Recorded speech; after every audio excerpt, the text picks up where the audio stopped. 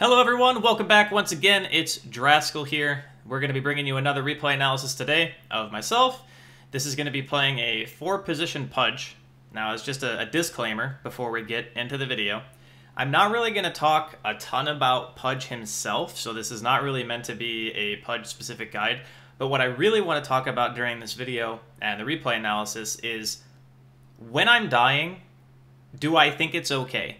I want to talk about the difference between a good death and a bad death, specifically from the position 4 or maybe even 5 role. So that means we're probably going to be dying a lot this game, and we're going to be sacrificing ourselves to enable other heroes. Now, the way that I play supports is I always try, if I believe in the, the core player, to enable them as much as possible. So, like, I'll, I'll buy wards for them if I'm playing 5. This game I'm not, obviously. And I'll die for them if I feel like it's valuable. So in this game, we're going to talk about the early laning phase, how I play it, how I pressure, you know, when I'm choosing to sacrifice myself for my core hero, how I'm taking fights, stuff like that. So let's go ahead and get started. We're going to fast forward a little bit so we can get to the actual laning phase. But I see a lot of people ask the same questions. They'll be like, I don't know if it's okay that I've died like 15 times in one game. And this game I had, I believe I had double digit deaths.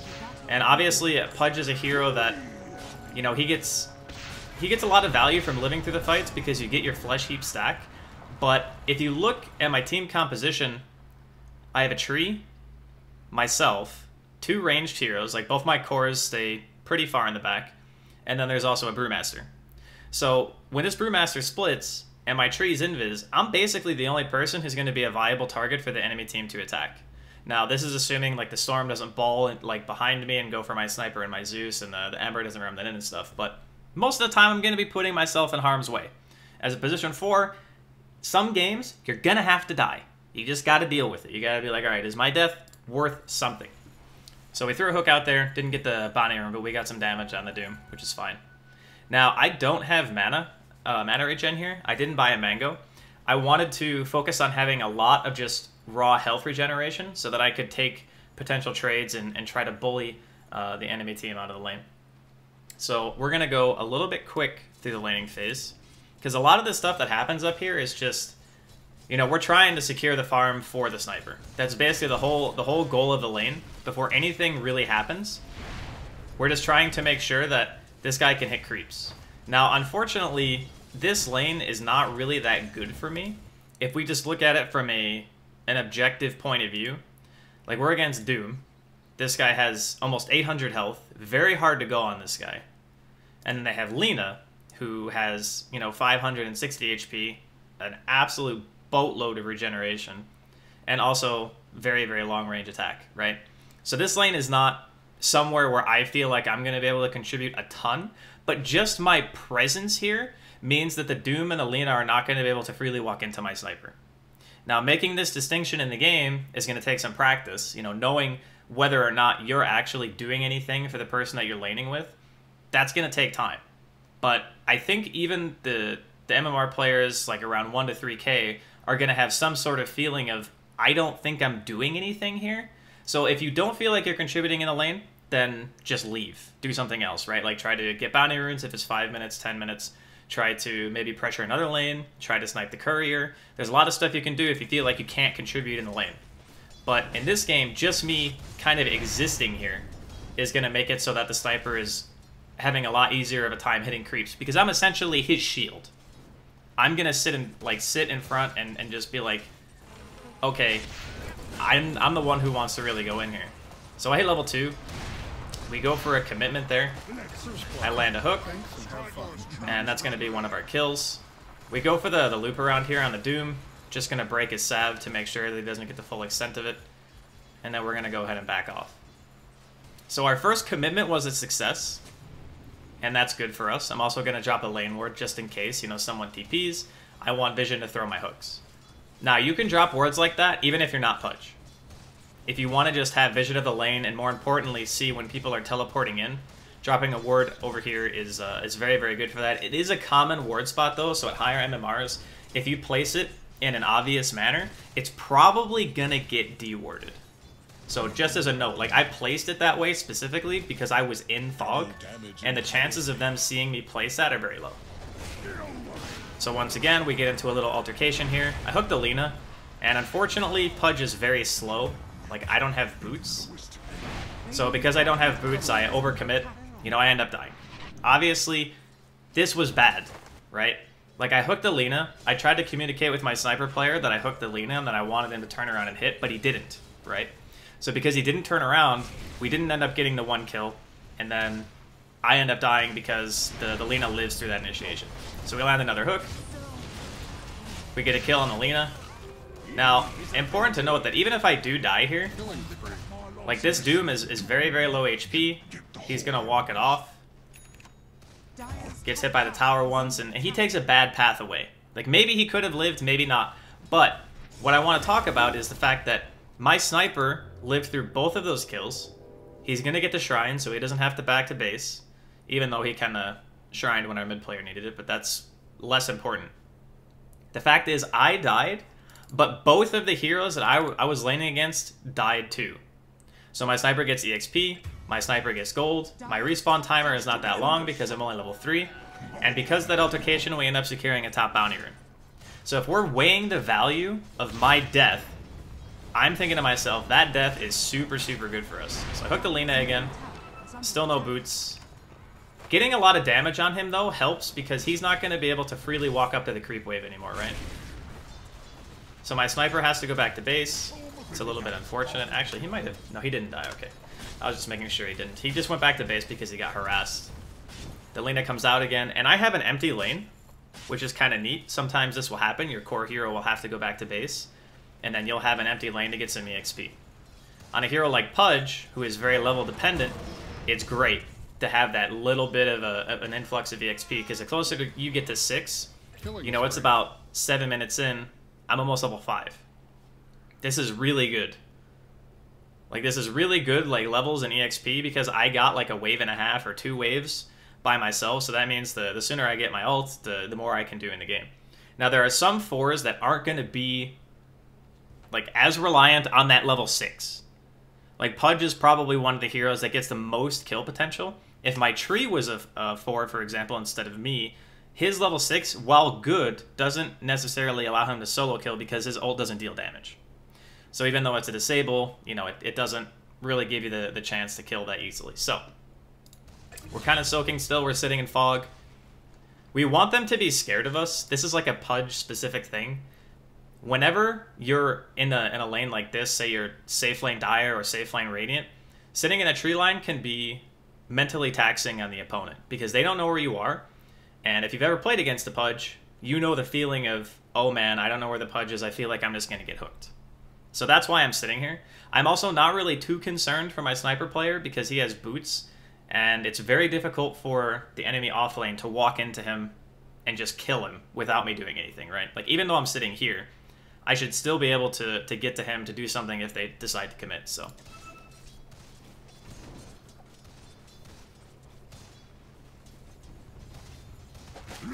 Alright, so we land a hook on the Doom. This guy is really tanky, and I have to commit pretty hard to get the kill on him. I got some stick charges as well. We're going for a little bit of a bait play here. The Lina's gonna juke into the trees. I don't know exactly where that guy went, but I do see that he casted a, a Dragon Slave. Unfortunate that I missed the hook. And now we're just gonna buy some more regen, and that way uh, we don't have to go back to base. You notice that I'm using the courier quite a bit. Uh, if your mid player or your, your core player needs the courier, I probably would have gone back to base, but my entire team is fighting bottom. So I'm just going to always buy items to make sure that I'm at a high threshold of HP so that I can contribute. So this time again, they run past the tower, they have a double wave, I'm sitting in fog, so they, I go for the weak target, right? If I hook the Doom, this guy is really, really hard to kill. He's got 1300 health. I hooked a Lina because she's got half the health. So now that I have my boots, this guy's gonna go down pretty easily. I hit 6 off the Lina kill. And unfortunately my, my lane ward went down, and we don't have another ward top, so I didn't know that the storm was missing. But again, we trade one for one. And an important thing that we uh, that we should know when we're talking about Pudge is that Flesh Heap is retroactive. And what that means is every time I get a kill, and I would have been credited for a Flesh Heap stack. As soon as I skill the ability one time, I get all the stacks that I would have gotten otherwise. So every time I get a kill and I trade one for one, you know, the core hero and the mid teleported up to me to try to get a kill. I smoke up here to make sure that uh, I can secure the bounty runes. This is also something they can do when you fudge. I land a hook on that guy. Zeus ults to help me get the kill. And we get the other bounty. Now, as a 4, if you're having an early game like I am, and you're like this Pudge, and you're almost level 7 at 10 minutes, you're feeling really good about it, if you can get to the high ground like that, always go for the enemy bounty first. Because the enemy bounty is obviously easier for them to get to, but harder for you. So if you're already in position, then taking the bounty from them first and then walking to your side of the map is more efficient than going for yours and then theirs, because the likelihood that they would have taken their own by the time you're able to walk up there is very high. And plus, they could already be in position when I walk up that hill, regardless, but that's why I pop the smoke. So I pop the smoke as sort of like a, a pseudo scan. Some high level players will scan the high ground before they walk up just to make sure no one's there. I pop the smoke so that if my smoke reveals, then I know there's a hero there. So I know that I have to either back off or, you know, maybe I throw a blind hook and try to get a kill. But that's a nice little trick you can use as a 4, is if you, especially like, I would say below 6k MMR, no one buys smokes. Just no one buys them, and if they buy them, they use them poorly. So just buy a smoke, if you're trying to go for a high ground on a bounty rune, just use it. And then if it pops, you know there's heroes there. So we go back to the Solar Shrine. A bit greedy on my part. But I feel like at this point we're doing fairly well. We get the ward and the D ward down in the top lane. Doom's gonna go for the hook dodge. Now again, I go in immediately. I just want to rewind this because the, the premise of this video and, and what I really wanted to talk about is kind of how you play a sacrificial role. So they're running at my sniper, right? Like, I know these guys are committed 100%. Like, they're to go on my sniper, they want to kill him. I'm the 4, this guy's position 1. My life is less valuable than this guy's life. I want my sniper to live.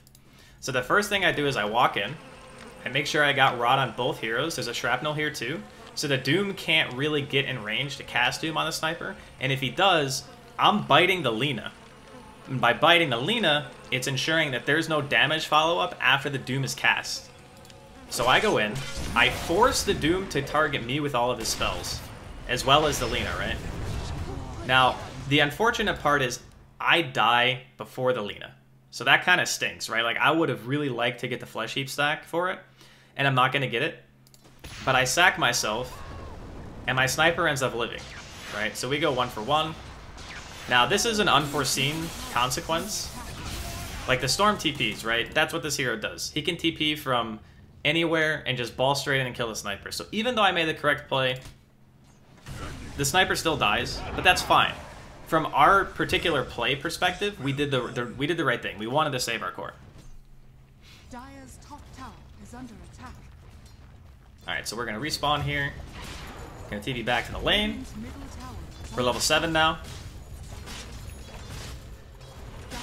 We get a nice couple of uh, CS there, able to finish our Tranquil Boots. Now, we're not, like, crazy farmed or anything, but we're still dangerous. That's the nice thing about playing Pudge and Pubs, is that even if you don't have, like, a Hood or a Blink Dagger or Blade Mail or anything like that, just landing a hook can be all the difference in the world.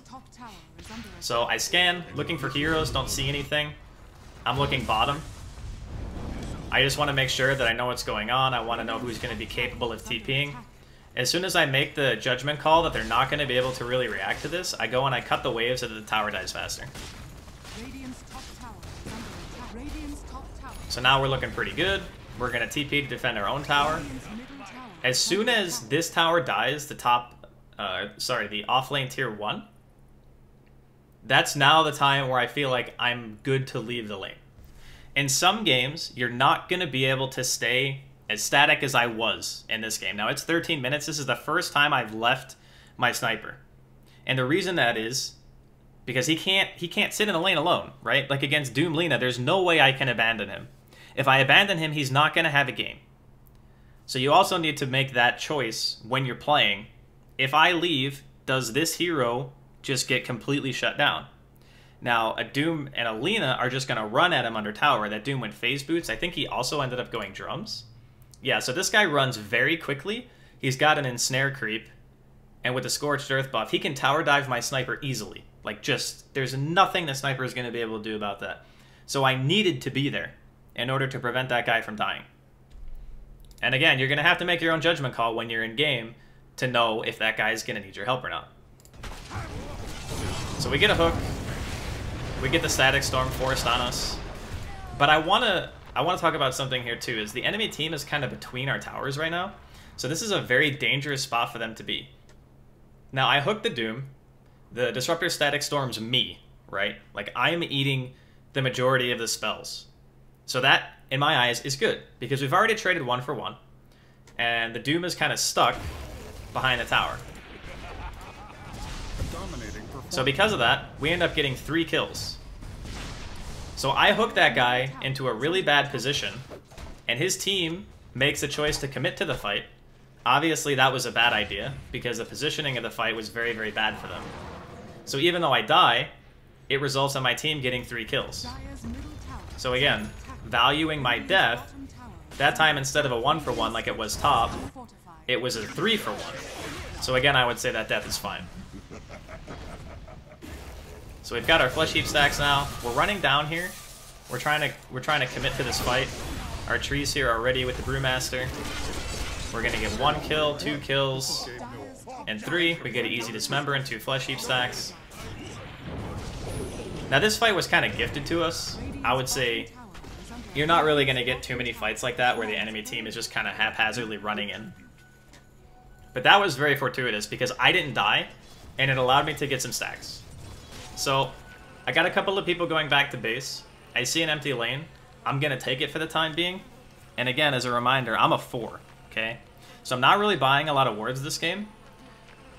If you see an empty lane and nothing is happening on the map, and you feel like you have adequate vision as a 4, it's okay to, to take an empty lane. I see a lot of people who just go, oh, someone else should be there besides me. While that may be true, if no one's there, and you don't have to like TP to be there, which is a big no-no. Never ever TP to an empty lane as like a 4 if nothing's happening on the map because you don't know when something's going to break out, right? Like you can theorize, but you don't know for sure, especially with like a Storm and an Ember on the other team. Those heroes can just go in at the drop of a hat. So I walk to my empty lane. I do not TP. If you're playing a core, it's a bit different, but for 4 and a 5, TPing to an empty lane, you have to be 100% certain that nothing's going to happen.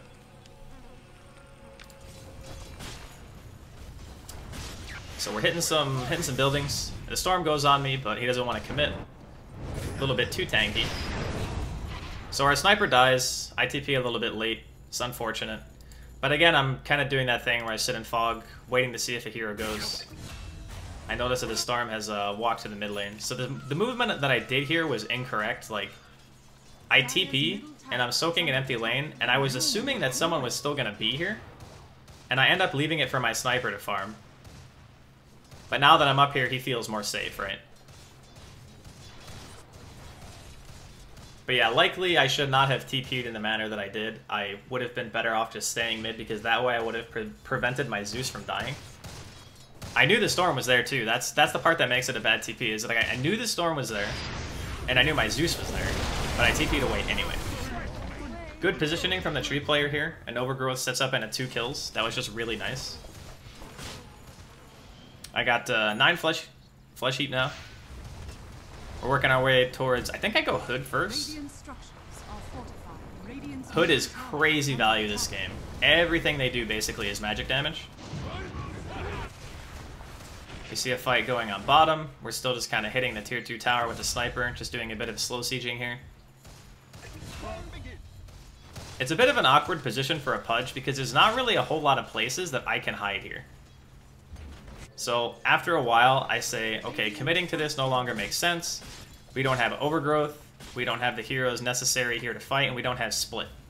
So because our ultimates were down, I just make the call that I don't want to be there. Now, I TP to the empty lane because I assumed that nothing was going to happen for quite a while.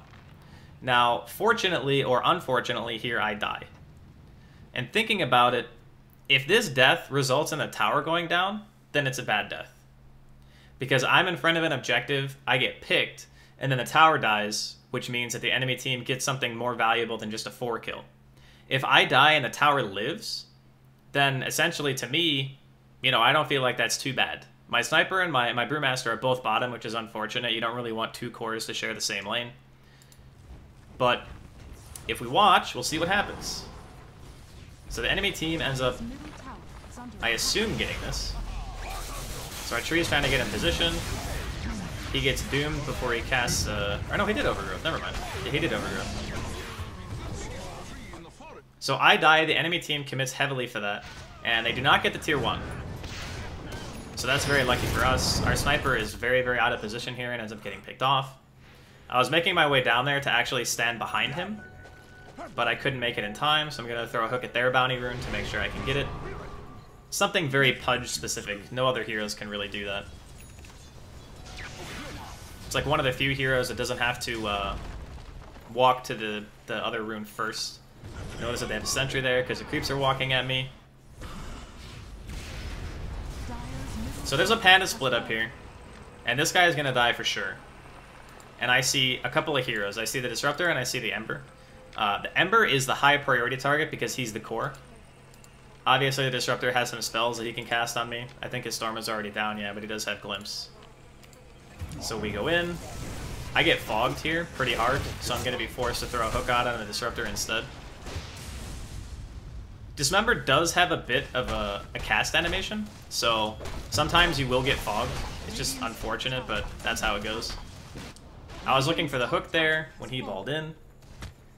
But you can see, like, right now, if we just assess the state of the game, it's 21 minutes in. If we look at the scoreboard, I'm 5, 6, and 9. So not like a, it's not a super impressive score, but I have more EXP than basically everyone on the enemy team, except for the Storm. And I have a hood.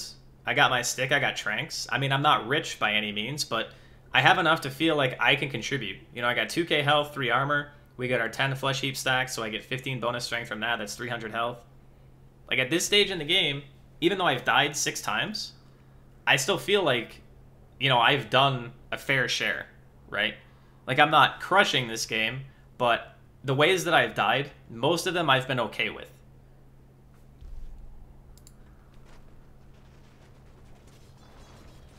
So we're going to walk down the midline. The mid-tier 1 is still up. So this is definitely something that we should prioritize getting off the map. The mid-tier 1s are, are very, very important for both teams. These towers provide very, very good, uh, very good TP reaction. So, I want to rewind and show you guys what just happened here. So I see the Lina, right? Like right here, I, I don't think... Was this far enough away? I think we have to go back farther. Okay. So we're going to play this. Now, I saw a hero in Fog on the minimap. You saw for like a split second, I saw the Disruptor, right? So I'm going to walk up and I'm going to throw the hook thinking that I'm going to hit the Disruptor. This ends up being extremely bad. So the Doom is standing, like, in this little patch of trees right here. Because I was throwing a hook to try to hit someone else. So because I hit this guy, I'm like, oh god, well, I have to dismember him now, right? Because I just hooked him into my team. So the problem with this is, like, my tree doesn't have ult. It's, like, five seconds away from being available. And I hooked the tankiest hero into our team. Now, it was an accident. I didn't mean to hook the Doom. But this is like the worst case scenario. So this is just a really, really bad death because not only do we not get anything, but we lose pretty much every single hero. It was unfortunate. If I had hit anyone else, that fight would have been a lot different.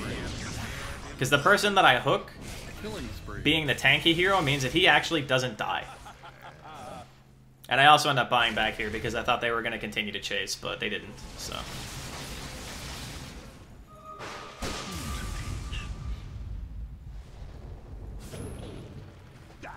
We go for a cancel on the hook, doesn't work.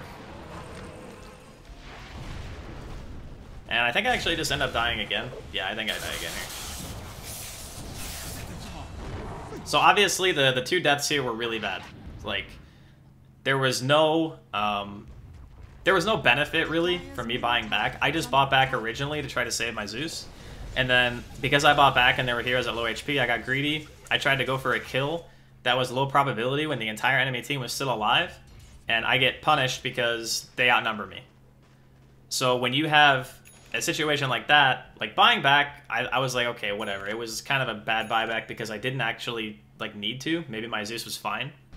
But then I commit for a fight, and then it feels awful because I just die two times in a row. So now, we're feeling pretty bad about it. Not the best. But it's important to recognize that when you do stuff like that, that you own up to it. That you say, oh god, this was actually just really, really bad. Like, that was probably the worst thing that could have happened, is what I did there. So we're walking down the midline again. We're going for the push.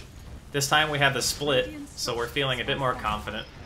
And our tree is uh, in the jungle, so we can kind of see what's happening. He gets doomed. And I try to go for a hook. Like, I was trying to hook the Ember, actually. Because I knew that as soon as he got doomed and rooted like that, that he was going to die. So I didn't want to hook him. And there are a lot of heroes on me right now. Lots of stuns. And we kind of get team wiped. So again, bad fight. Just, we get the tower. My tree doesn't get his ult off. Panda split ends. So us lingering there was not ideal. Like, as soon as we got the tower, we should have backed. I went for a greedy hook. Even if I hit the Ember, I can't be sure that that would have resulted in a kill. And the enemy team just kind of rolls over us because our, our main control in the team fight is Bruise Split and Overgrowth. So when one of those things is not up, it's very hard for us to take a fight. So we see the Lina. We go for the hook on the Storm. He has BKB, so I just bite him during it. Gonna force him to use all his mana and run. We get the hook on the Doom. We get another Flesh Heap stack. Nice kill. And that fight was alright. We get the Storm, we make him pop BKB, we go 3 for 0. That one feels pretty good. I'm gonna run to my sniper player because I don't want him to get uh, to get killed. We see the Lina and Fog here. We get another really easy quick pick. And the Ember Spirit tries to go for my sniper, but he misses his remnant to the high ground, so he ends up dying as well. So in the last minute or two, we had a nice turnaround. We get like 4-0 and 5-0 twice in a row. But then the enemy team like breaks up and starts split farming on the map. That's something that you're going to see a lot in every single bracket. Is that as soon as a team fight breaks down, people are going to go back to just like their efficiency stuff. So the Storm kind of just lets me walk into him. That was a huge mistake on his part. I don't know why he thought that uh, he could just let me walk up like that. I think he maybe got mini stunned by the Nimbus and thought that he would have time to ball away when in reality he didn't. So my next item here is going to be Blink. And Blink just allows me to get on the hero that I want quicker. That's the main, uh, the main goal. And it also forces the enemy team to attack me. See, like right there, I get the Blink and the Dismember onto the Ember Spirit. I eat a Glimpse and a Doom at the same time. So while I get Doomed Rhadon, I have the Hood. There's a regen in the bot lane, so I'm going to be able to recover basically all of that. And then the Storm goes back in, so I just Blink Fight him to save my Panda. Get a lucky hook there onto the Disruptor, he goes down as well. And even though I had to break my, my regen for that, I'm going to say it's worth. So now, like, I'm level 19, it's 30 minutes in, I've been involved in a lot of the kills. And yeah, we had some bad deaths, I'll be honest. Like, there were some deaths this game where I look at it and I'm just, like, shaking my head going, why on God's green earth did I do that? Like, there is no way that I should have bought back and then walked in like I did, right? That's that's one thing that you look at when you're, you know, at you're going over your own replays and you're like, it actually hurts you to watch because you know better, but in the moment, sometimes stuff goes wrong. The important thing is you don't tilt because of it, and you just try to keep playing the game that you're supposed to play. Because what really matters in every single pub is consistency. If you consistently play it to like 90 to 95% of your ability, you'll find that your win rate's still going to go up, right? So I land a couple of nice hooks here, sets our team up for success. The enemy team has no buybacks. I get a nice blink fight on the Storm. Or sorry, that was the uh, Ember, excuse me. He got the Searing Chains off and was able to just rem them away. So because of those few kills, uh, it secures us racks. And we're feeling fairly confident. We got a AK lead. It's not too bad.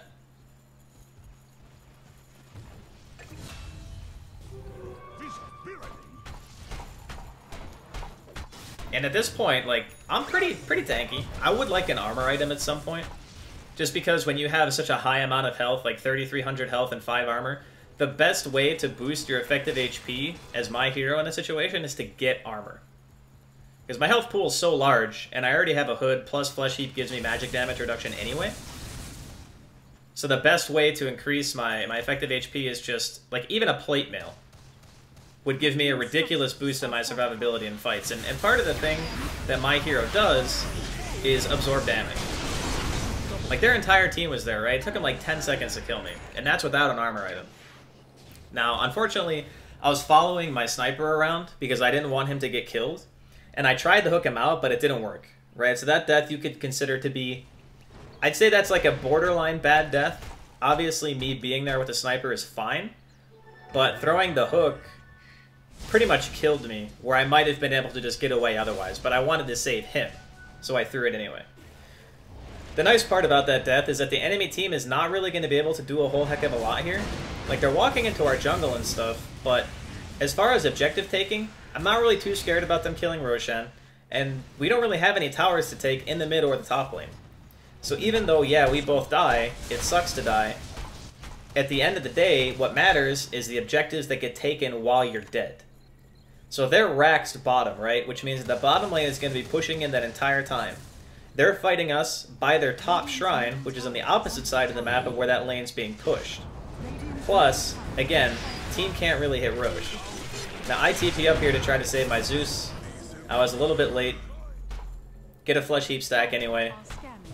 End up getting a kill on the Ember, so it's a one for one. At this point, I'm still trying to think about what I wanted to buy. I eventually decide on the Assault Cuirass. Again, large amounts of effective HP, that's what we're looking for. It it's pretty much the highest armor item, I think, for the slot. You could also go something like Shiva's if you really want to. It's nice synergy with the Blink, gives you a bigger mana pool. We're going to go for Rosh with the Ember being dead, also with bottom and top lane being pushed in. It's a relatively safe call.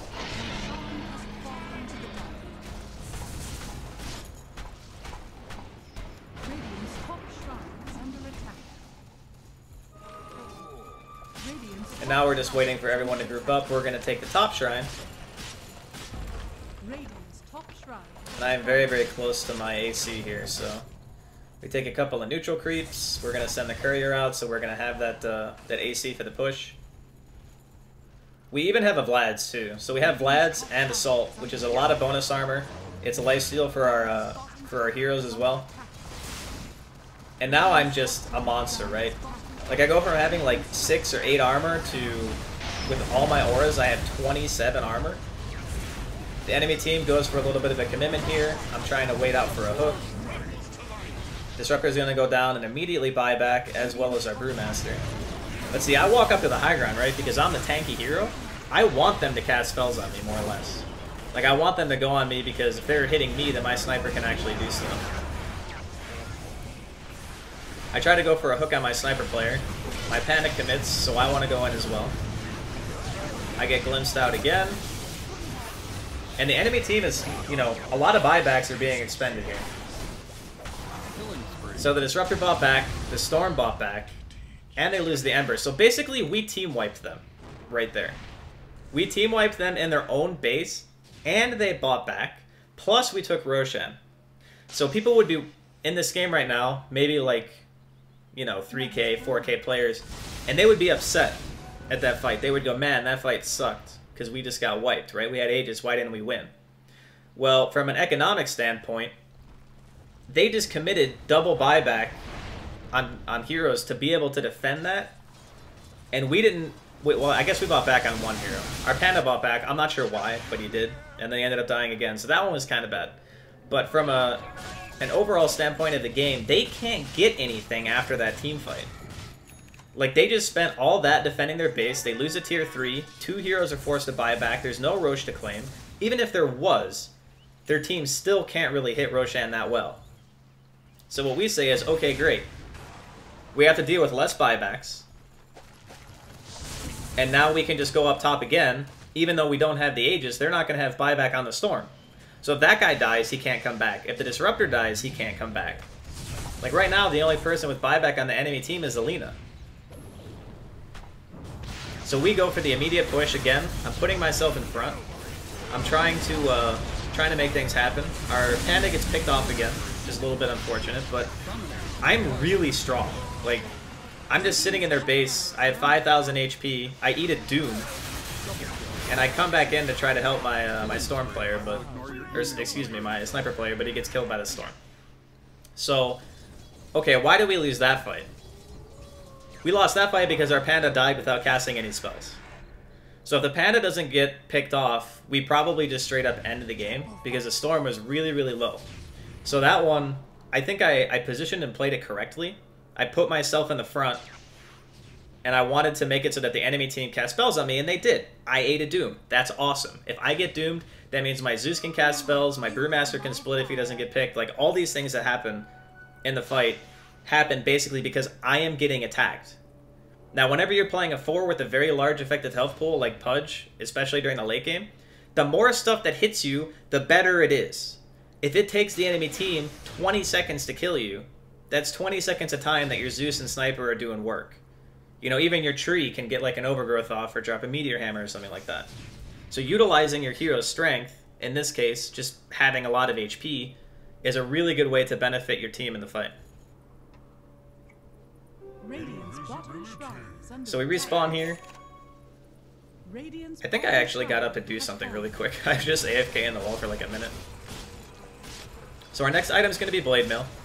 Just furthering the I want people to hit me kind of mantra that we've adopted here.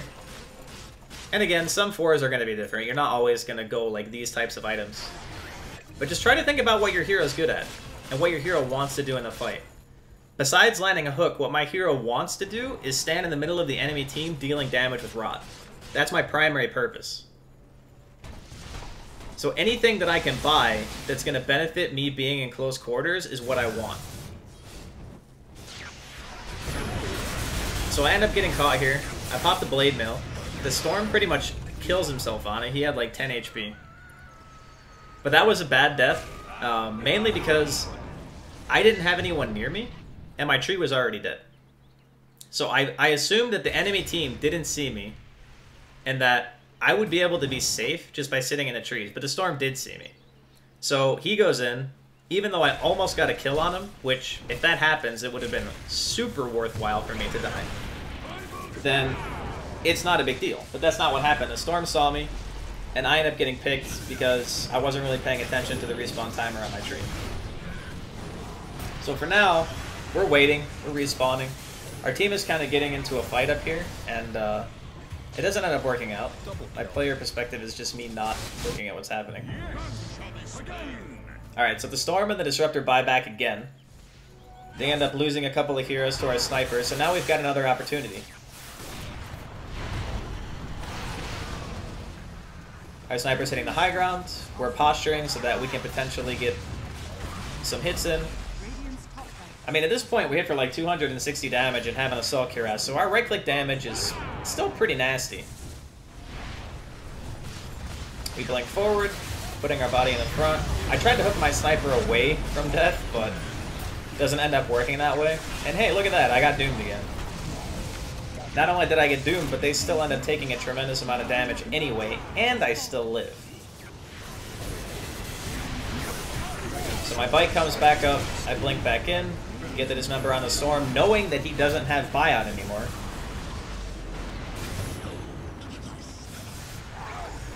And you know, at this point, we've megged them. It feels alright. 25 flesh heap stacks. Not an awful game. But we're going to pause really quick. We're going to talk about the scoreboard and stuff. Now, I had 13 deaths this game. 13 deaths is, for a 52-minute game, I'd say, you know, it's it's not great. Like, I died more than I needed to. I had a death mid where I hooked a guy that I did not want to hook, ended up killing my team. That's a bad death. I had a death where I bought back after hooking said hero into my team and killing them, and then died again for no reason.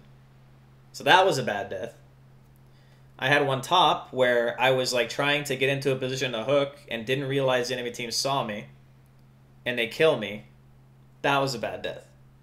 Right? When you're watching your replays, it's important to be able to tell the difference between when your death was good and when it was bad, and also understanding why it was good or bad. So in this game, I would say anywhere from four to five of my deaths were just unnecessary and or bad. The other deaths were okay. Some of them were in the laning phase. Uh, some of them were during the mid game when I was committing to fights and knowing that I would probably be the one to die. But as long as you know that, if you're playing a four or five and you know that your death is is valuable because it got something in return, like a tower or you saved a core or whatever, it's a lot easier to to keep your head on straight in a match and just be like, okay, that was a fine death. You know, we traded three for one, or that was a fine death. We got a tower. We got Rosh. A lot of people who play Dota just die and they just get mad. They just die and they go, "Oh man, I'm I'm upset because I died." Your KDA means nothing. It actually means nothing. That's why the matchmaking algorithm pretty much only counts for wins and losses. Because it doesn't matter how many times you die in a game, if every single one of your deaths is a good death, you will still probably win the game. Now, being able to judge when it's good or it's bad in the moment is going to take practice. But as long as you're you know, you're scrutinizing your own replays and just being like, okay, this was pretty bad, this was good, then you're going to improve. So I hope this video helps you guys. Obviously, this game's over. We've megged them. We died 13 times. It's a lot of deaths, but hey, it's a 52-minute game. We're a pudge. We really want to be in the middle of the action. That's kind of how this hero works. And even though we won, there was a million things I could have done better this game. So no matter what level Dota play you are, whether you be Herald or Immortal, you can always watch your replays and you can always try to learn from them. So I hope you guys enjoyed the video very much. Uh, if you could, subscribe to the YouTube channel. We're trying to hit the, the 1,000 subscriber mark. It's still a relatively new channel. It's only been around for a couple of weeks.